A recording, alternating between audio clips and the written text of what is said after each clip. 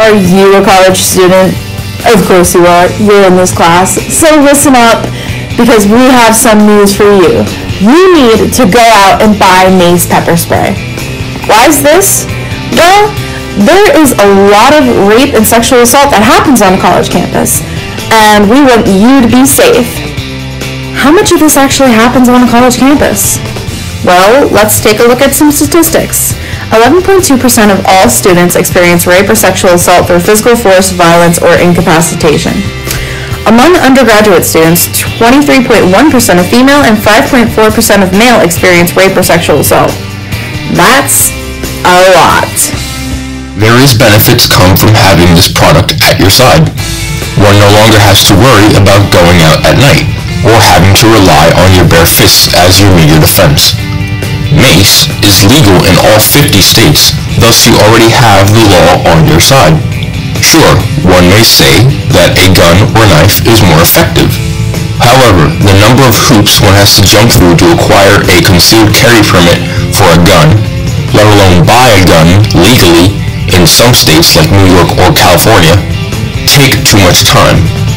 A hidden knife, while also effective, can get you in serious trouble. Along with the firearm, one needs a concealed carry permit for a knife longer than 5 inches.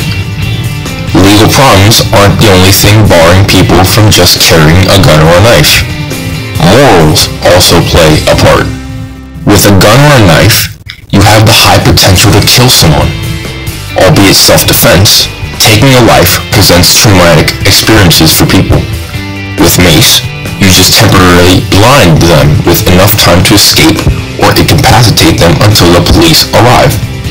On the topic of police, the average response time for cops to arrive is 18 minutes, compared to the mere seconds it takes to aim, press, and blind your attacker.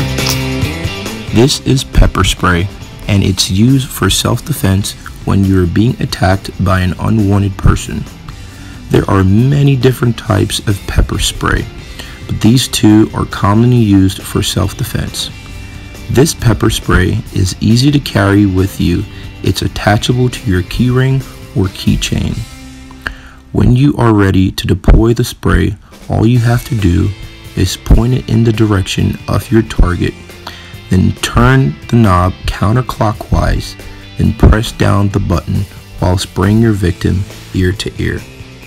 The second pepper spray is also able to be attached to your keyring or keychain.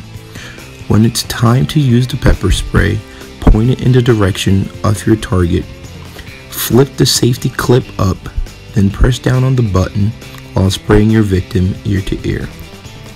Pepper spray is by far the safest and easiest way to put down your perpetrator because the pain of the pepper spray lasts for 30 minutes to an hour.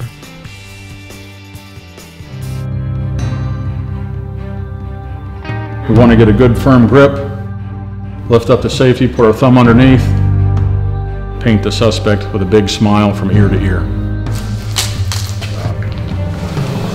Because there's no long-lasting, long-term harmful effects from this, it's a great alternative in the use of force